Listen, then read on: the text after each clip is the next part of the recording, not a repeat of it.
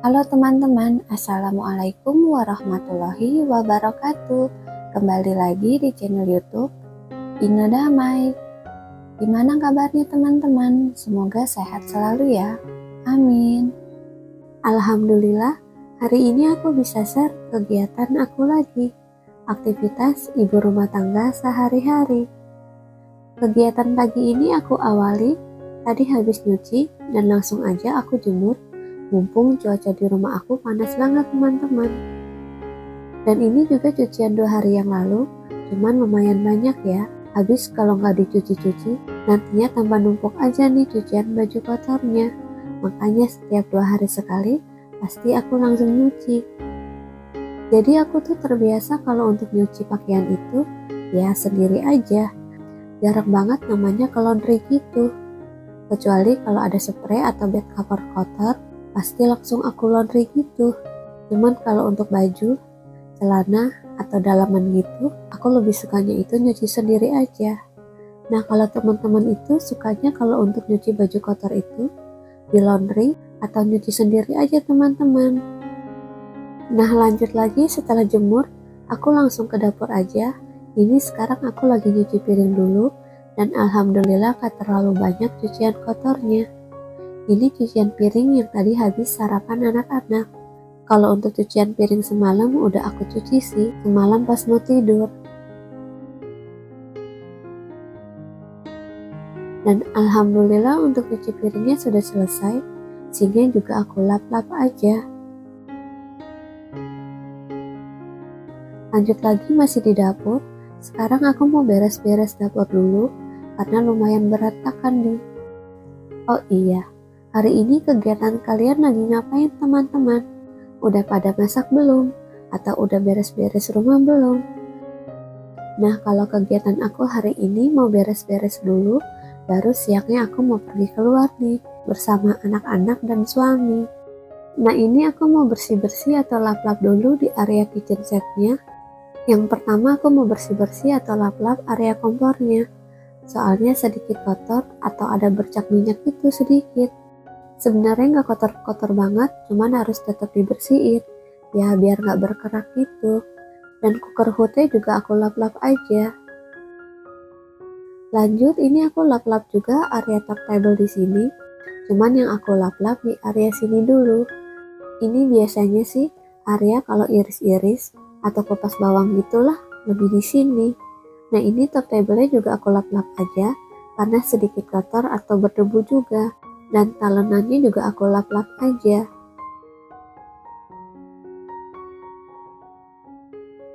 Sekarang aku juga lap-lap area sini juga, jadi biasanya untuk area kitchen set di sini pasti tiap hari aku lap-lap atau bersihin gitu.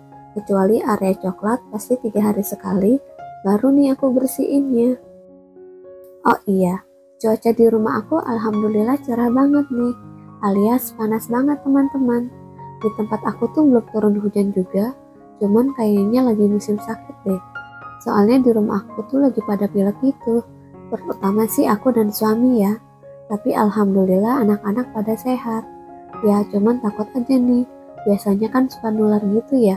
Ya pilek satu, ya pilek semuanya. Ya tapi mudah-mudahan jangan sih. Amin.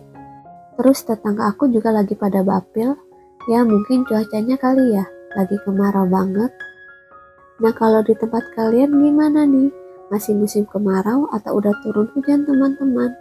Terus pada musim bapel gak ya? Nah sekarang aku lagi sapu-sapu juga lantai dapurnya Soalnya aku belum bebenah juga Jadi lumayan ngeres juga nih Dan ini aku juga nggak pel ya Jadi cuman aku sapu-sapu aja Nah lanjut lagi kegiatan aku hari ini Mau beres-beres dulu belanja mingguan yang tadi pagi aku beli habis antar Stella sekolah. Jadi tuh stok lauk pauk untuk satu minggu ke depannya di rumah aku tuh udah habis semuanya. Makanya hari ini tuh aku belanja mingguan. Cuman belanjaan hari ini, aku tuh belinya protein hewani aja yang aku banyakin. Kalau untuk sayurannya aku nggak beli dulu, soalnya kalau stok sayuran itu kadang-kadang suka busuk gitu. Apalagi kalau aku lagi mager masak nih jadi takut kelupaan gitu. Makanya minggu ini aku belinya itu hanya stok protein hewani aja. Ya kalau untuk sayuran gampang lah, bisa mendadak itu belinya. Atau nanti tinggal ke pasar atau ke warung aja, karena tempatnya nggak jauh banget dari rumah aku. Jadi belanjaan hari ini aku tuh beli ayam, ikan, tahu tempe, dan perbumbuan seperti cabai, bawang, tomat, dan jeruk nipis. Nah sekarang lanjut aku mau cuci dulu protein hewaninya. Yang pertama ayamnya dulu yang aku cuci. Untuk ayamnya tuh aku beli ayam paha bawah 2 dan 1 kilo ayam filet nah rencananya sih ayamnya itu mau aku buat ayam mentega atau semur gitu. Kalau ayam filetnya paling mau aku buat ayam katsu aja. Lanjut lagi untuk protein hewaninya ada ikan-ikan. Ini yang aku cuci dulu ikan gurame dan ikan kembung Nah untuk ikan gourmetnya itu aku beli satu kilo itu isinya dua ekor. Nah satu ekornya itu aku potong-potong tiga ya jadi totalnya ada enam potong gitu. Rencananya sih gourmetnya itu mau aku buat saus asam manis atau saus padang gitu. Terus untuk ikan kembungnya aku beli dua macam. Jadi ada yang kecil-kecil dan besar ikan kembungnya. Kalau ikan kembung paling nanti aku mau buat ikan pesmol atau aku cabein aja. Terus ada lagi ikan nila dan ikan bawal, ya paling ini aku goreng aja nih. Untuk cuci protein hewaninya sudah selesai, sinnya juga aku bersihin dulu. Ini aku cuci dulu sinnya biar nggak terlalu bau amis, soalnya tadi kan habis nyuci ikan dan ayam ya. Dan ini aku ganti juga saringan di sinnya. Nah lanjut lagi aku mau taruh untuk perbawangan, aku taruh di keramik putih seperti ini aja. Untuk bawang yang lamanya aku keluarin dulu, baru aku masukin bawang yang baru. Yang lamanya itu aku taruh di atas, baik bawang putih dan bawang merah nih. Nah untuk bawang bombaynya juga aku taruh di wadah seperti ini. Oke, sekarang lanjut lagi. Aku mau taruh protein hewaninya di food prep.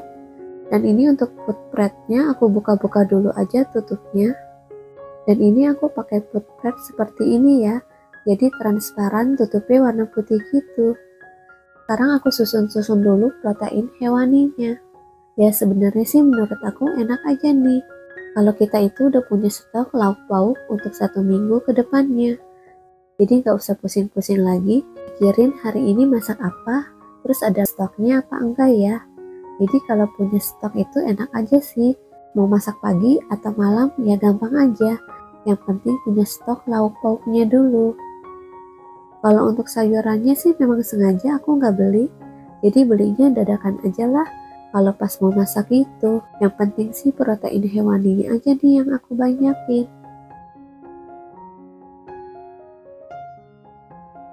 Nah ini aku beli ikan bawal setengah itu 15.000, ikan nila 20.000, terus ada lagi ikan kembung yang kecil-kecil apa ya namanya. Aku kurang tahu, Kata abangnya sih ikan kembung harganya itu 20.000. Terus untuk ikan kembung yang besar itu 30.000. Lalu ada lagi ikan gurame 1 kilo lebih itu 55.000. Untuk ayamnya ada ayam filet 42.000. Terus aku beli lagi ayam paha bawah 2. Jadi satu ayam paha bawah itu 30.000. Aku beli dua totalnya itu 60.000. Terus ada tempe 5.000, tahu putih 5.000, tahu kuning 5000 terus aku beli lagi cumi asin seperempat itu 30000 untuk perbawangannya aku beli bawang putih 6000 bawang merah 5000 untuk bawang bombay 9000 untuk bumbu dapur seperti serai salam daun jeruk aku beli 2000 jeruk nipis 3000 nah kalau untuk cabai campur aku beli 5000 yang terakhir ada lagi jahe dan kunyit aku beli itu 12000 dan ini aku taruh aja di toples, terus aku kasih air nih toplesnya. Jadi total belanjaan aku hari ini kurang lebih 330 ribu. Dan ini untuk protein hewaninya aku kasih jeruk nipis dulu aja, ya biar gak bau amis gitu. Kalau kalian itu biasanya untuk ngilangin bau amis ini pakai apa teman-teman? Jeruk nipis atau lemon atau cuka nih?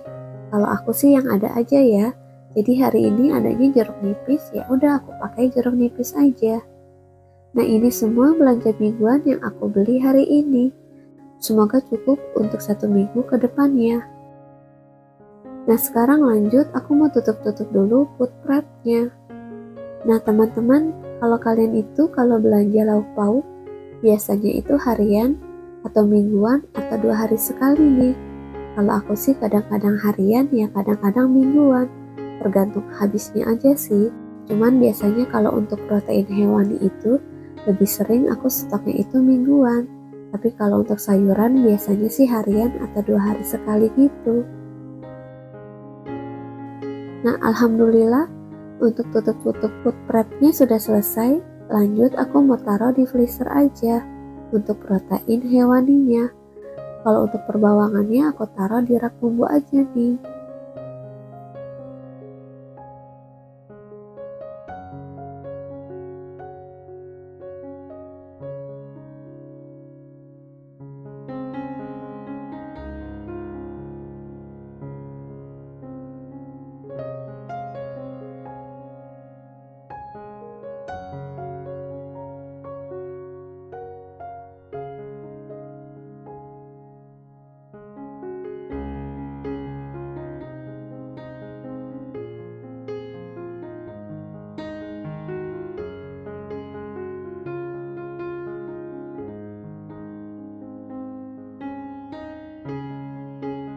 Alhamdulillah untuk belanja mingguan, beres-beres belanjaan, dan beres-beres rumah sudah selesai.